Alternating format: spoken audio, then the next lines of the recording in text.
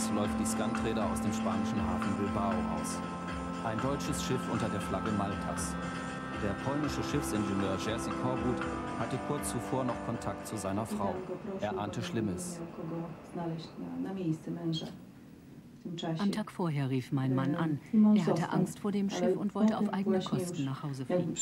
Doch der Kapitän überredete ihn noch, eine Reise mitzumachen. Irgendetwas stimmte. Jakieś stosunki, coś nie, nie mówił dokładnie przez telefon o co chodziło, ale coś nie tak było tam.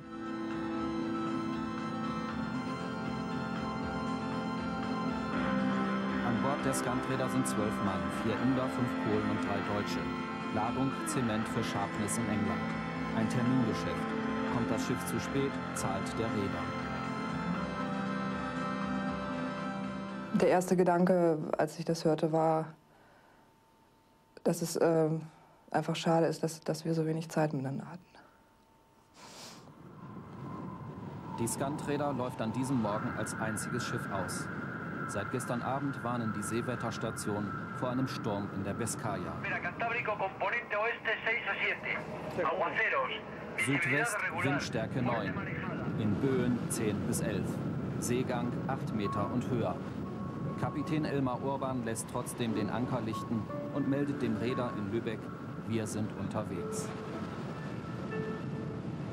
Ich verstehe das nicht, warum der Kapitän, ich kenne ihn ja, bin ja mit ihm gefahren an für sich, ich kenne ihn ja als an für sich sehr zuverlässigen Mann und na gut, mal ein bisschen Draufgänger war ja. Aber dass er das Risiko so in Kauf genommen hat, Um 17.55 Uhr empfängt die englische Küstenwache auf der Frequenz 121,5 das Peilsignal eines Rettungsflosses. Doch das Suchflugzeug der französischen Marine entdeckt nur ein leeres Floß. Es stammt von der Skanträder. Das Schiff ist verschwunden. Es muss so schnell gesunken sein, dass niemand mehr die Zeit hatte, einen Notruf abzusetzen. Der Golf von Biscaya ist an der Unglücksstelle fast 4000 Meter tief. Geschätzte Wellenhöhe zum Zeitpunkt des Unglücks 9 bis 13 Meter. Die Skanträder ist 89 Meter lang und 26 Jahre alt. Mit 2,7 Millionen Mark ist sie sehr hoch versichert. Alle zwölf Besatzungsmitglieder werden nach vergeblicher Suche für tot erklärt. Darunter sind der Kapitän Elmar Urban aus Neumünster, 42 Jahre alt. Der Steuermann Holger Clausen, Husum, 44 Jahre. Hans-Günther Kolmsee, leitender Ingenieur aus Hamburg, 52 Jahre. Jerzy Korbut, zweiter Ingenieur aus Stettin, 52 Jahre. Kletrus Peris, Matrose aus Tuticorin, Indien, 25 Jahre. Bootsmann Richard Kolowiecki, 40 Jahre. Das Telegramm war auf Englisch. Ich gab es den Kindern zu lesen, sie lernen in der Schule Englisch. Wir freuten uns und dachten, der Vater lädt uns auf das Schiff ein. Wegen einiger Vokabeln lief meine Tochter zur Nachbarin. Sie kam weinend zurück.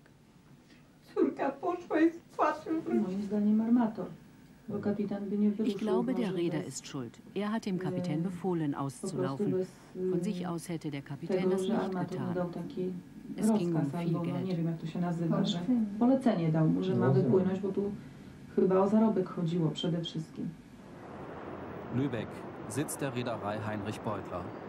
Sie betreibt zum Zeitpunkt des Unglücks außer der Skanträder acht weitere Schiffe, dazu die Befrachtungsagentur Viking.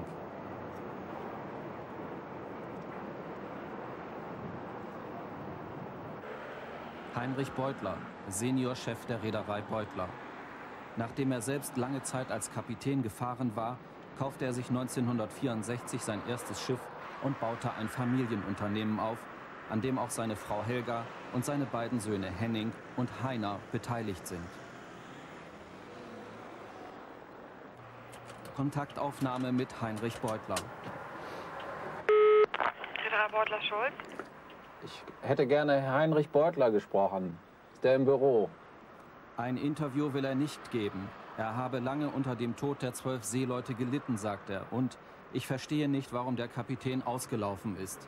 Ein Interview Nein, diese Dinge gehören nicht in die Öffentlichkeit. Wir hatten außerdem mit der Scantrader überhaupt nichts zu tun.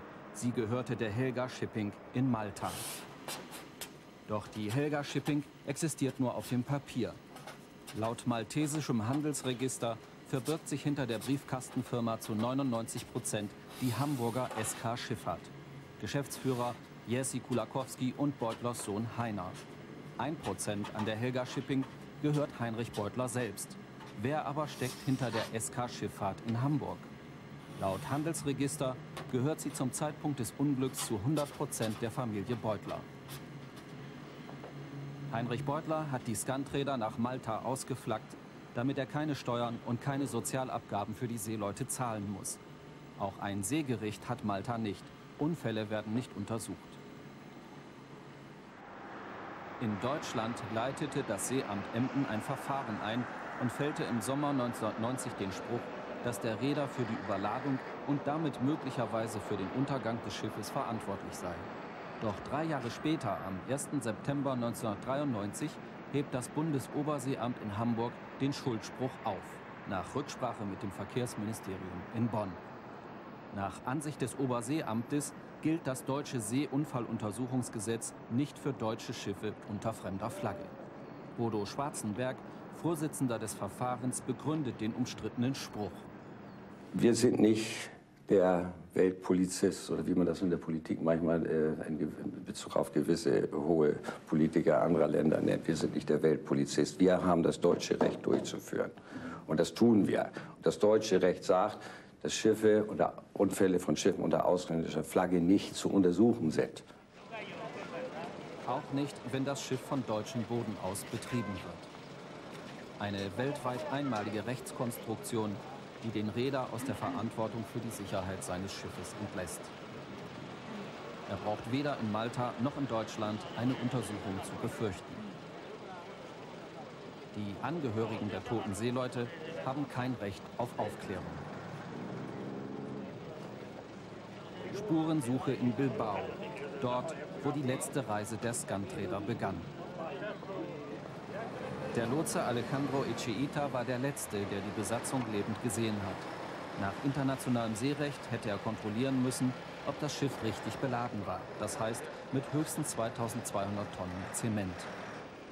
Es war dunkel, als das Schiff auslief und die Lademarke konnte ich nicht sehen. Sie lag außerdem unterhalb der Kaimauer.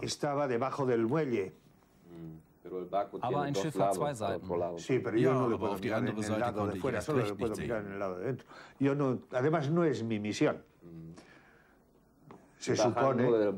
Aber als sie nach Ausfahrt von Bord gingen, da war schon so ein hoher Seegang unmöglich, etwas zu erkennen. Besuch bei der Schiffsagentur Agarei. Sie wickelte die Beladung der Skanträder ab. Geschäftsführer Arate wehrt ab. Ich weiß nicht, ob das Schiff überladen wurde. Das ist Sache der Gerichte. Ich habe damit nichts zu tun. Sie waren verantwortlich. Nein, nein, der Belader vielleicht oder der Lotse, fragen Sie die. Wir haben die Papiere gemacht, sonst nichts. Allein der Kapitän muss verantworten, wie viel Ladung er mitnimmt. Y estando en puerto, tampoco. Pero Eso está el capitán del barco. El capitán del barco es el que debe de tomar las armas. Ein Zeuge ist bereit zu reden. Er bestreitet, dass das Schiff nur die 2200 zugelassenen Tonnen an Bord hatte. Es waren viel mehr. Genau 2363 Tonnen. Woher wissen Sie das? Ich war dabei. Jeder Lastwagen mit Zement wurde genau ausgeführt. Die Zahl ist exakt.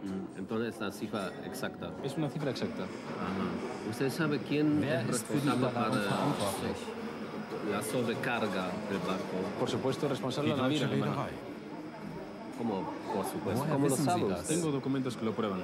Ich habe dafür schriftliche Beweise. lo puede enseñar? Se los voy a enseñar, sí.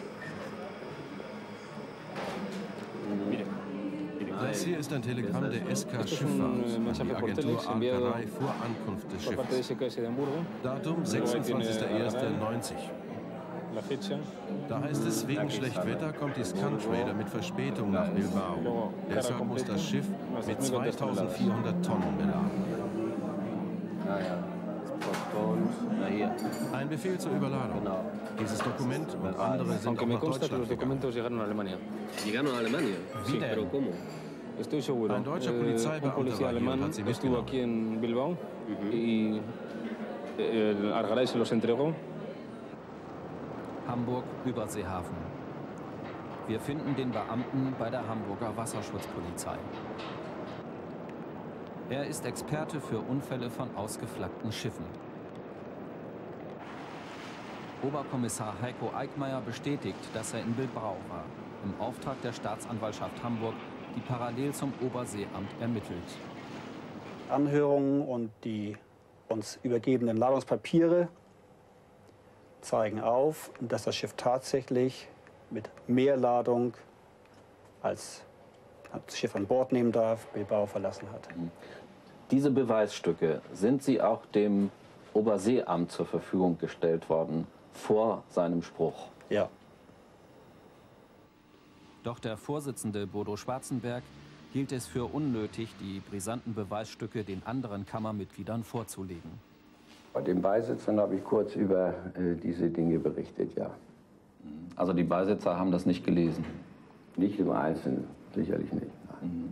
Warum nicht? Ich meine, das sind doch maßgebliche Ermittlungen gewesen, die den ein solches Paket in spanischer Sprache. Dann hätten wir die Verhandlungen wieder verschieben müssen, erst alles amtlich übersetzen. Ja, natürlich. Aber es geht um das Leben von zwölf Nein, Menschen. es geht darum, dass, äh, dass wir zunächst zu äh, entscheiden hatten, ob wir ob diese Untersuchung durchzuführen ist oder nicht oder weiterzuführen ist oder nicht. Und wenn das Ergebnis lautet Nein, dann ist eben die, Entsche äh, die Entscheidung zu treffen, die wir getroffen haben. Und ich verstehe nicht, warum Sie solche Ergebnisse vor der Kammer dann geheim halten. Sie haben einfach, weil Sie die Übersetzungskosten sparen wollten. Oder warum? Es lohnte sich nicht, nach meiner Meinung. Trotz eindeutiger Schuldhinweise wird der Reeder nicht zur Verantwortung gezogen. Und Zeugen, die zur Aussage bereit sind, sind gar nicht erst befragt worden. Im polnischen Hafen Stettin. Auf der Reparaturwerft hat gerade die Baltica festgemacht. An Bord finden wir Kapitän Marian Konarski. Er war auch Kapitän auf der Skantreder und gibt zu, das Schiff auf Weisung des Reeders ebenfalls überladen zu haben. Wie läuft denn sowas praktisch ab, zum Beispiel bei Ihnen? Ruft dann Herr Beutler bei Ihnen an und sagt, Ja, er laden schon Sie... bestellt. Das ist immer war schon bestellt. Wie ich bin nach Hafen hergekommen. Der Agent kommt und sagte, ist bestellt so und so viel Ladung und das musst du nehmen. Normal möchte ich sagen, nein, nehme ich nicht. Aber das möchte ich schon letzte Reise sein. Das Wir suchen weitere Zeugen. Auf dem Zentralfriedhof von Stettin, am Ehrenmal der auf See gebliebenen polnischen Seeleute, treffen wir Stislaw Krawczynski. Er zeigt uns die Gedenktafel mit den Namen der polnischen Besatzungsmitglieder der Skanträder. Krawczynski wurde von Beutler gefeuert, als er sich weigerte, die Skanträder mit 300 Tonnen Zement zu überladen.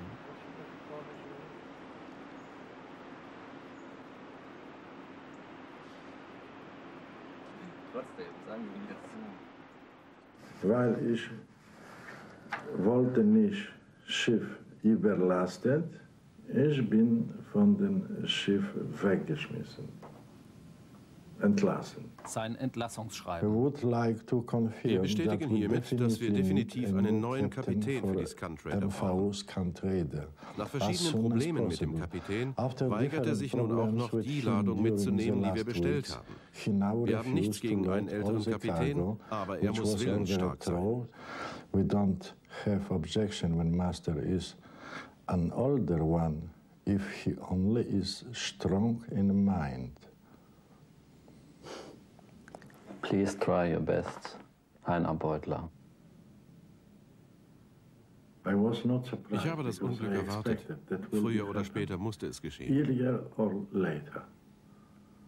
You expected? Yes. Erwartet, weil der Druck der Reederei so groß war, das Schiff zu überladen. Lübeck. Wir entdecken Heinrich Beutler vor seinem Schiff Zemking. Wir hatten schon mal telefoniert. Wissmann ist mein Name. Wir finden es doch wichtig, dass Sie etwas sagen zum Tod der zwölf Seeleute. Wir haben die Angehörigen befragt. Wie ist denn das, wenn man das auf dem Gewissen hat? Beleidigen Sie mich nicht. Keine Stellungnahme des Räders.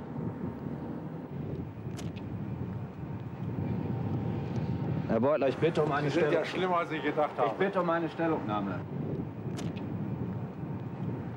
Herr Beutler, wie machen Sie das mit Ihrem Gewissen aus?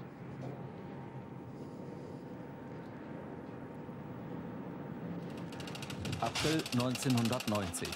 Zwei Monate nach dem Untergang der Skanträder geht bei Heinrich Beutler ein Telex aus Tuticorin in Südindien ein. Bitte informieren Sie mich sofort, wo mein Sohn Petrus Peres ist, der auf der Skanträder arbeitet. Die indischen Familien sind über das Unglück nicht einmal informiert worden. In Tuticorin bei Kletros Bruder. Er sagt, Beutler hat uns auf dieses Telex nie geantwortet.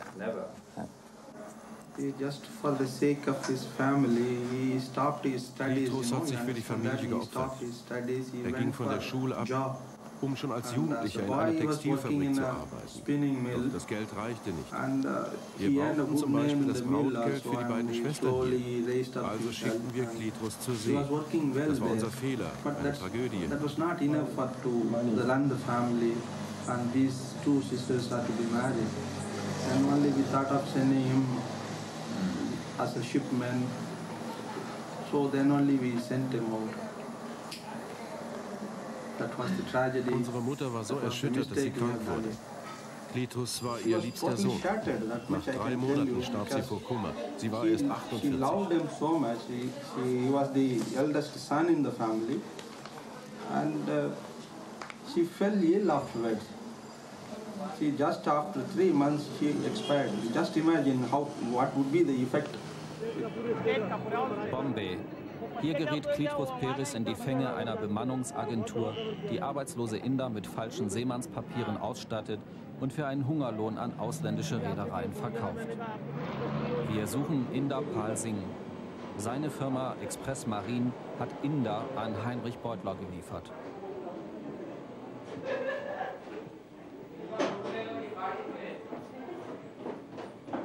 Als ich von dem Unglück der Skanträder hörte, war ich traurig. Das Unglück war Gottes Wille. Ich fühlte sehr mit den Seeleuten und ihren Familien.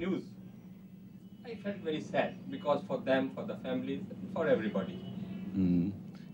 Sind Sie religiös? Ja, sehr gottesfürchtig, wie Sie sehen. Kletros hat vor seinem Flug nach Deutschland diesen Vertrag unterschrieben dass ich bereit bin, die ersten sechs Monate auf der Skanträder ohne Lohn zu arbeiten. Dass ich nicht versuchen werde, illegal vom Schiff zu entkommen. Dass ich jedwedes Essen an Bord akzeptiere und an keinerlei Gewerkschaftsaktivitäten teilnehme. Unterzeichnet Klitros Peris. Er hat unterschrieben, freiwillig. Er würde es bestätigen, wenn er noch lebte. So it is better to ask him who told him. But uh, there are other seafarers uh, which worked with, with Beutler Company and other ships with the same contracts, and they told me that you, uh, Mr. Paul Singh, forced them to sign this declaration. Niemand kann sie zwingen. And that they had paid to, had paid to you thousand dollars to be sent to Germany. Absolut falsch. How many? How much they had to pay? Nichts. Sie betreiben Sklavenhandel. Ich habe nichts damit zu tun. Peres hat sich das besorgt und unterschrieben. Das ist ein Sklavenvertrag. Schluss jetzt. Sie haben diese Leute nach Deutschland verkauft. Ich habe sie nicht verkauft. Schluss. Das sind Inder wie Sie. Indians like you.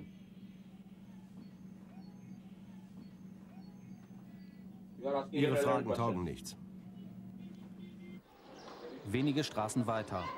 Hier rekrutiert Inderpal Singh arbeitslose Männer aus der Provinz, die in Wohngemeinschaften leben und auf einen Job warten. Einer von ihnen, Antonio Fernandes.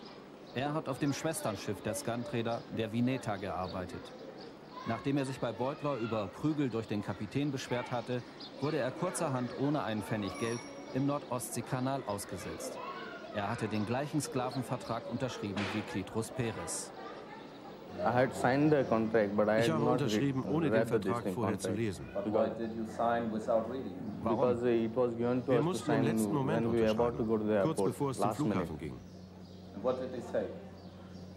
We didn't read because we didn't have the time to read all this. Was hat Ihnen Inderpalsing über den Inhalt des Vertrages erzählt? Gar nichts. Er sagte, das ist euer Vertrag. Wir durften ihn nicht lesen. Keine Zeit, sagte er. Das Schiff war dann ganz in Ordnung, aber der Kapitän nicht. Er misshandelte uns. Einmal schlug er mich mit dem Kopf gegen die Tür. He was manhandling.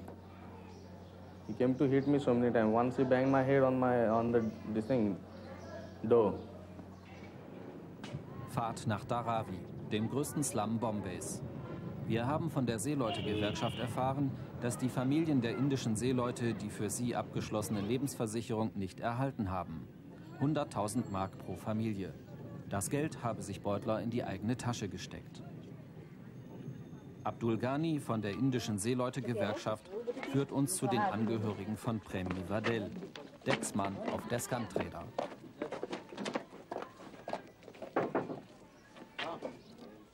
Premier Vadel hat sechs Kinder hinterlassen. Die Witwe bringt die Familie mit Töpferarbeiten durch. Sie bestätigt, von der Lebensversicherung keinen Pfennig gesehen zu haben.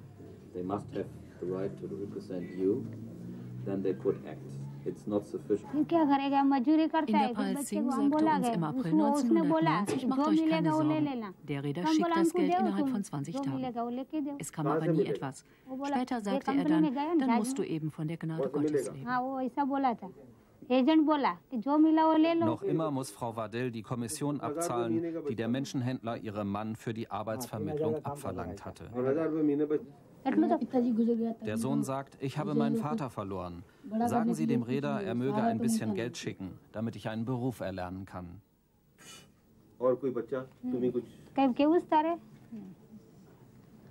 Zurück in Lübeck. Die Versicherungsagentur Winterthur vertraute dem Räder das Geld zur Weiterleitung an. Beutler zahlte an die deutschen Familien sofort, an die polnischen ein Jahr später und an die indischen überhaupt nicht. 400.000 Mark Extragewinn, Zinsen nicht gerechnet. Welches Drama hat sich auf der Skanträder abgespielt? Wir wissen, das Schiff war stark überladen. Doch das allein erklärt den Untergang nicht. Die Reederei sagt, eine Megawelle habe das Schiff verschlungen. Seemannspech also, oder war die Katastrophe absehbar? Kurt Taube, Schiffsingenieur und langjähriger technischer Inspektor der Reederei Beutler. Auch ihn belastet die Erinnerung an die Skanträder. Das ging mir doch an die Nieren, muss ich ganz ehrlich sagen. Denn ich wusste, ich wusste, ich, damals, ich hätte, ich hätte die Maschine ja überholt. Ich hätte ja diese Reisen mitfahren müssen. Und ich sollte beide Maschinen, Steuerbord und Backbordmaschine, überholen von den Hilfszielen. Und dass die nicht in Ordnung waren, das wusste ich. Was haben Sie denn im Einzelnen festgestellt über den technischen Zustand der Skanträder vor dem Untergang? Ja, Kompressoren. Vielleicht können Sie das mal am Bild erklären. Da habe ich ja Bilder, extra Bilder gemacht von Skanträdern. Das waren Kompressoren, das waren nicht Stehbolzen, die waren nicht richtig fest. Also der war nicht mehr zu reparieren. Seewasserleitung. Da haben Sie auch Fotos gemacht? Ja, können von der Seewasserleitung habe ich auch. Die waren verpackt als würde einer jemanden Gips legen. Als würde man Beine vergipsen oder so. Und das sind Seewasserleitungen für Kühlwasserversorgung, die absolut unmöglich ist. Wenn aber, da Wasser rauskommt, was ja, kann dann passieren? Sie können es versuchen zu flecken, aber wenn Sie das nachts nicht merken und nur ist es ja so, dass die Leute nicht immer unten sind, dann können Sie ganz schnell haben, dass das voll läuft die Maschine vorläuft oder es auf Generator aufspritzt oder sonst irgendwo. Und dann bleibt alles stehen und es ist Feierabend.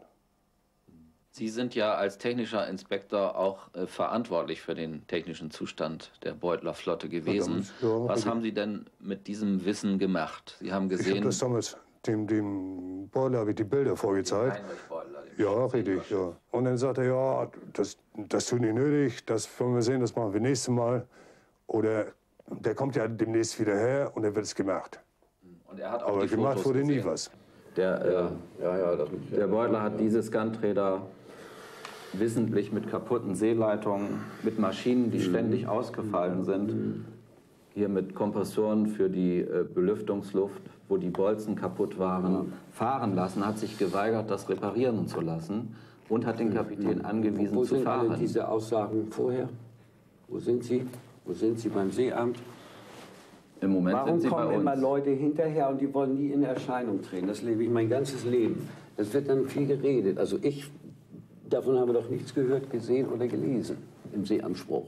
Hm. Aber Sie hätten es ja untersuchen können. Ähm, interessant, nicht? Sowas habe ich nie gesehen. Wirklich. Weder offiziell noch irgendwo in der Akte. Ich wüsste nicht. Woher kommt das? Das kommt von Mitarbeitern aus der Reederei Beutler, die der Meinung sind, dass man zwölf Menschenleben nicht einfach so schnell vergessen sollte. Und warum werden diese Fotos äh, zum Beispiel nicht beim Seeamt auf den Tisch gelegt? Also zu uns sind Sie auch nicht von selbst gekommen. Wir sind zu den Leuten hingegangen. Warum haben Sie das nicht gemacht? Nee, nee, das ist nicht, äh, so können wir das nicht machen. Zeugen sagen aus, zwei Wochen vor dem Unglück entstand bei Grundberührung ein Loch. Stündlich mussten 20 Tonnen einströmendes Wasser abgepumpt werden. Wegen der schweren See am Unglückstag versagen vermutlich die Pumpen. Das Schiff bekommt Schlagseite und dreht sich quer zu den Wellen. Durch die Schrägkonstruktion der Zementtanks liegen Ladung und damit Schwerpunkt des Schiffes sehr hoch. Durch die Überladung 220 Tonnen wird es noch instabiler. Es kentert, als es von der anrollenden See getroffen wird. Eins ist sicher, dass man aufgrund der Tatsache, dass das Verfahren nicht mehr stattgefunden hat in Hamburg, die tatsächlichen Ursachen des Schiffsunfalles wohl wird nicht ermitteln können. Es kann andere Räder natürlich dazu bewegen, ein Schiff jetzt in eine Flagge zu stellen, zum Beispiel wie in diesem Fall Malta, wenn er weiß, dieser Staat hat, keine, hat kein Seegericht, also keine Möglichkeit, eine Untersuchung durchzuführen. Er weiß jetzt, wenn sein Schiff eines Tages aus welchen Gründen auch immer mal untergeht, vielleicht durch Überladung oder durch schlechten Sicherheitszustand, dass er ein Untersuchungsverfahren nicht zu erwarten hat. Es ist doch nicht so, dass alle diese Schiffe jeden Tag verunglücken. Ich Ob das sie nur einen einzigen Fall in vielleicht zehn Jahren mehr untersuchen oder nicht, was ändert das an der Weltgeschichte oder am Lauf dieser Dinge? Gar nichts. Freie Fahrt für Totenschiffe. Wir haben einen Tipp bekommen und fliegen nach Norwegen. Beutlers kleinstes Schiff, die Zemking, macht im Privathafen der Zementfabrik in Brevik fest. Heinrich Beutler hat die Zemking für 500.000 Mark einer Verschrottungswerft abgekauft. Sie soll Zement für Rostock laden. Am nächsten Morgen mit dem Inspektor der Internationalen Transportarbeitergewerkschaft ITF gehen wir an Bord des Schiffes. Nils Petersen will die Gehaltslisten der Zemking überprüfen. Er informiert uns, dass die russischen und polnischen Seeleute an Bord um einen Teil ihrer Heuer betrogen werden. Sie unterschreiben Quittungen für Löhne, die sie gar nicht bekommen haben, aus Angst davor, gefeuert zu werden. Für die vorherige Crew hat die ITF mit einer Boykottdrohung gegen das Beutlerschiff 135.000 Dollar Lohnnachzahlungen durchgesetzt. Doch die frisch angeheuerte Besatzung ist noch zu verängstigt, um sich dem ITF-Inspektor anzuvertrauen. Kapitän Lothar Frank aus Rostock lässt uns hinein. Überstunden sind laut den Abrechnungen von niemandem gemacht worden.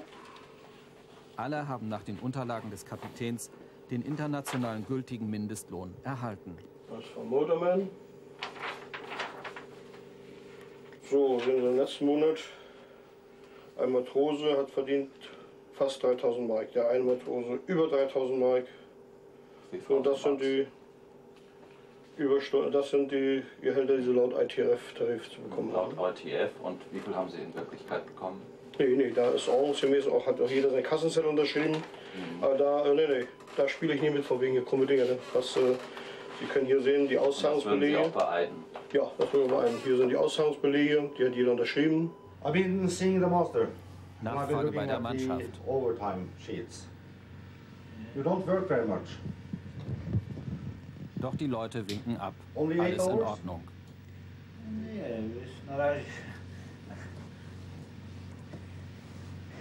It's okay. Is it okay? Yeah? Yeah. Kriegen Sie Ihr Geld? Ja, keine Probleme.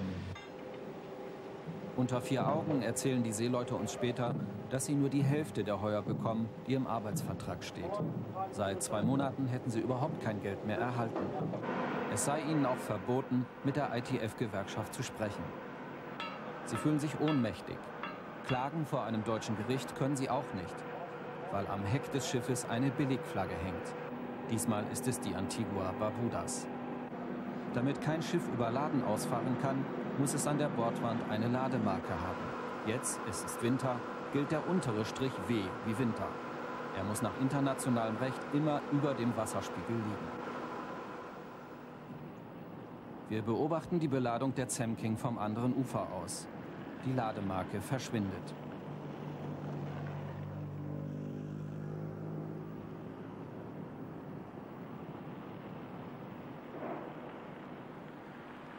Anruf bei der Zementfabrik.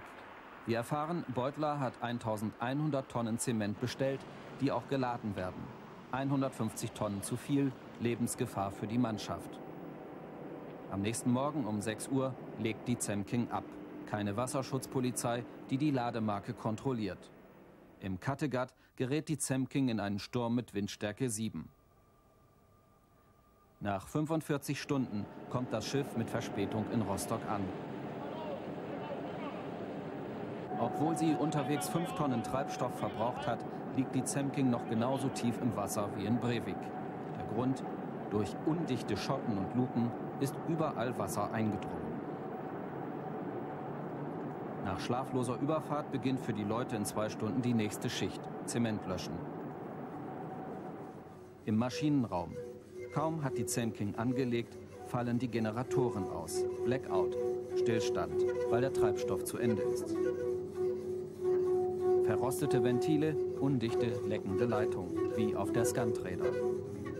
Bei der Besatzung heißt die Zemking schwimmender Sarg. Einer der beiden Hauptgeneratoren ist durchgebrannt. Die lebensnotwendigen Ballasttanks können nicht benutzt werden, weil sie undicht sind. Aber die Sicherheitspapiere des Schiffes sind in Ordnung.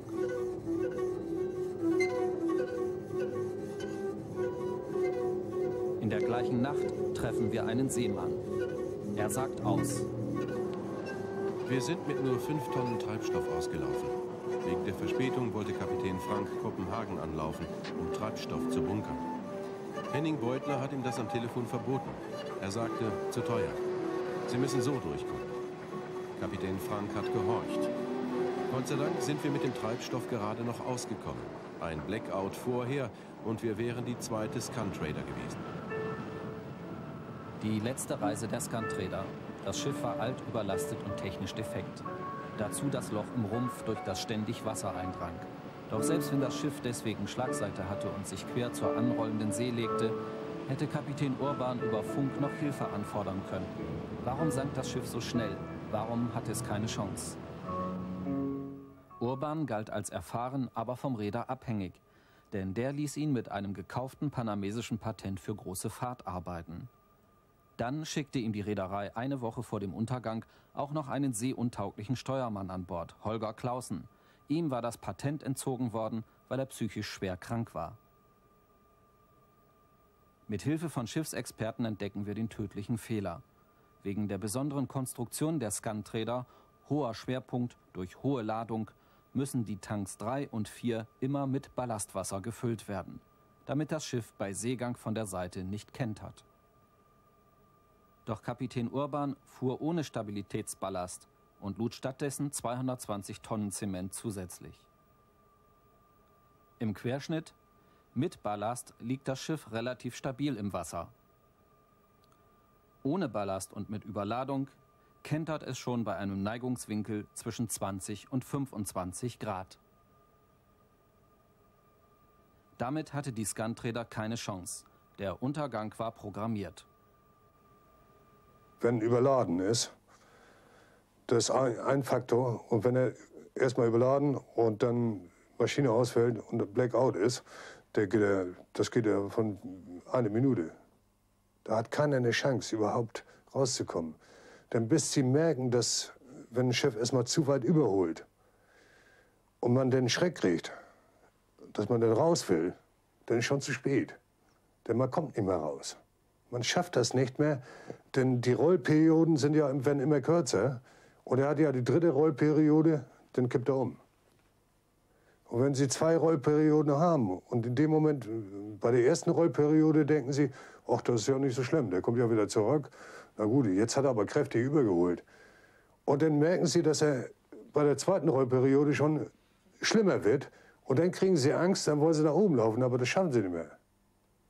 Denn Sie haben ja schon Mühe und Not, überhaupt aus dem Bett rauszukommen, aus der Kuh überhaupt rauszukommen und sich irgendwo festzuhalten. Und wenn dann noch Licht ausfällt, das ist überhaupt keine Chance. Das ist überhaupt keine Möglichkeit mehr rauszukommen. Die Sicherheitspapiere der Skanträder. Darin ist der Gebrauch von Stabilitätswasser zwingend vorgeschrieben. Warum hat Kapitän Urban dies missachtet? Oder hatte er, wie ein Mitarbeiter Beutlers vermutet, gefälschte Papiere an Bord und ist deshalb ahnungslos in den Tod gefahren? Die möglichen Zeugen sind tot, außer einem. Wir finden ihn in Stettin. Es ist der polnische Steuermann, der die Skanträder eine Woche vor ihrem Untergang verließ. Als erster Offizier war er auch für die Beladung verantwortlich. Aus Angst um seinen neuen Arbeitsplatz will er unerkannt bleiben. Wir haben das Gespräch mit den Originalaussagen nachgestellt. Alle hatten Angst vor dem Schiff. Wir trauten ihm nicht. Es war sehr instabil und wir wussten nicht warum. Haben Sie Ballastwasser genommen, um die Stabilität zu verbessern? Bei beladenem Schiff? Nein, bei keiner Reise. Aber die Dokumente, die Stabilitätsdokumente schreiben das vor. Das ist mir neu, davon wusste ich nichts. Ja, das sind sie.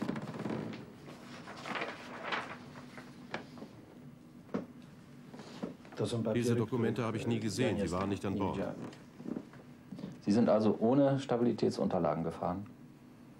Nein, aber meine waren anders, mit anderen Zahlen und Stabilitätsvorgaben. Auch der Satz, dass 220 Tonnen Stabilitätsballast vorgeschrieben sind, fehlte. Davon wusste ich nichts. Sie hatten also falsche Papiere an Bord? Ja, das kann man so sagen. Wir legen die Stabilitätsdokumente auch den ehemaligen Kapitänen der Skanträder vor. Auch die Kapitäne Krawczynski und Bonk fuhren mit falschen Papieren, die sie von der Reederei erhalten hatten. Schockiert über die Täuschung wollen beide auch vor Gericht aussagen. Offensichtlich wurde Kapitän Urban mit falschen Papieren über das Kenterverhalten des Schiffes getäuscht, damit er ohne Angst mehr Ladung mitnahm. Für die Reederei brachte das pro Reise einen Mehrgewinn von ungefähr 10.000 Mark. Der Tod der Besatzung war dabei einkalkuliert. Hat Heinrich Beutler auch den Befehl zum Auslaufen gegeben? Kapitän Urban musste jeden Tag in der Reederei anrufen. Heinrich Beutler und sein Sohn Heiner behaupten jetzt, niemand habe in den Tagen vor Auslaufen des Schiffes mit Urban gesprochen. Er ganz allein habe entschieden auszulaufen. Die Atmosphäre an Bord war schlecht. Vor allem bei mir und Kapitän Urban lagen die Nerven Immer auf der Brücke, immer unter Druck. Kaum hatten wir geladen, befahl die Reederei per Telefon, los, fahrt los, keine Zeit verlieren. Egal wie das Wetter war. Hat Urban gehorcht? Wenn das Wetter zu schlecht war, ist er vor Anker liegen Naja, ein paar Mal ist er dann doch gefahren, auf Druck des Redes. Aber eigentlich war er ein erfahrener und vernünftiger Kapitän, der unser Leben nicht einfach aufs Spiel setzt. Mhm. Aber in Bilbao ist er losgefahren, trotz Orkan und trotz Überladung. Ja, jestem w stanie zrozumieć. Zupełnie er muss von der Reederei unter enormen Druck gesetzt worden sein. Być może był naciskany przez armatora, żeby wypłynąć. Ja, und so genauso kann ich mir auch vorstellen, dass sie zum Urban gesagt haben, ja, Sie sind für den und den Tag in England vorbestellt und da müssen Sie da sein. Ja, das Schiff hatte ja schon Verspätung bei der Ankunft in Bilbao von drei ja, Tagen. Richtig. Und genauso ist es Zemking ja auch. Wurde ja Zemking da auch gesagt, Sie haben Verspätung, es ist alles bestellt. Wissen Sie eigentlich, was das für Geld kostet? Das wurde dem auch gesagt, dem Kapitän. Und so wird ein Kapitän unter Druck gesetzt. Aber wenn so ein Räder hört, dann von dem Kapitän, er sagt, es wird Windstärke 12 erwartet, das ist zu gefährlich, dann muss doch der Räder so vernünftig sein und sagen, na dann warten wir ab, bis sich das gelegt es ist, äh, Ich würde Ihnen die Aussage sagen, was Henning zu ihm gesagt hat, es ist komisch, hier ist nichts. Und es ist komisch, wir haben andere Schiffe laufen, die haben kein Schlechtwetter, nur Sie haben Schlechtwetter. Ja, das wurde zum Kapitän gesagt. Andere Schiffe fahren und dem ist nichts, die sagen nichts, sie haben kein Schlechtwetter, nur Sie haben Schlechtwetter. Wie kommt das? Ja, der gesagt, dann müssen wir die Wetternachrichten. Die habe ich gehört. Und hier in Lübeck ist nichts. Ja, ja aber dann kann passiert. der Kapitän sagen, ich bin verantwortlich für das Leben von zwölf Menschen und ich fahre nicht. Das kann er sagen, ja. Das kann er sagen, natürlich. Aber die meisten sagen es nicht.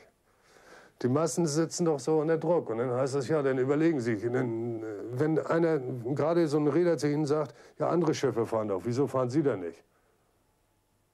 Dann sagt er sich, verdammt nochmal, bin ich nur Kapitän oder bin ich? Oder, also fahre ich doch. Und dann ist er rausgelaufen. Letzter Gesprächsversuch. Herr Beutler, Sie haben es gewusst, dass dieses Schiff kaputt ist, dass es schwere technische Schäden hat.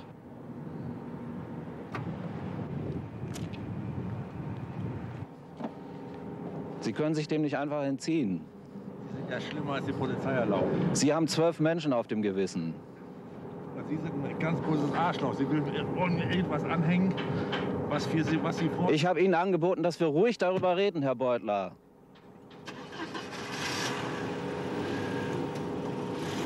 Skanträder ist kein Einzelfall. Mehr toten Schiffe denn je fahren über die Meere. In den vergangenen zehn Jahren ertranken bei Schiffsunglücken 10.000 Seeleute. Die meisten davon fuhren auf Schiffen unter Billigflagge. Schiffe wie die Skanträder. Die Recherchen zu diesem Film haben dazu geführt, dass die Staatsanwaltschaft Hamburg Heinrich Beutler, seinen Sohn Heiner und seinen ehemaligen Partner Jerzy Kulakowski anklagen will. Die Anklage soll lauten Mord in zwölf Fällen.